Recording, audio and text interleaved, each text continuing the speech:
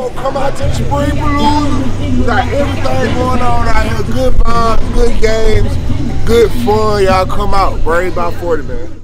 You know, it, it's home and it's family. Uh, from 2001 when I got my master's under, you know, Dr. Thomas when I was a GA up until now. Uh, not only just me, but my family, my kid, um, you know, my mom. You know, the, the, the nation is great, um, and I can't. Um, I'm overwhelmed with just enjoyment and excitement um, that those guys that just took me on as one of their own. Shout out Brave Nation, man. Shout out the family, man. Oh, yeah. Uh, just preparation of the Brave Nation believing in me and Dr. Cook, you know, giving me opportunity to um, lead this great institution is, is, really a blessing. And then just to be associated with such great people, the support staff all the way from managers to trainers to filmers, um, it just means that much more. So I want to continue to just lay the foundation and, and, and um, like the ones before me.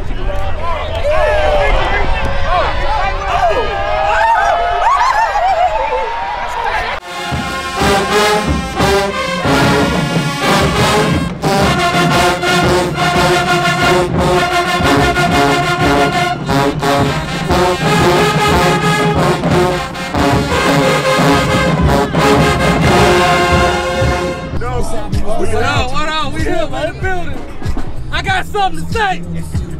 To go to him, I always got something to say. Hey, praise my father.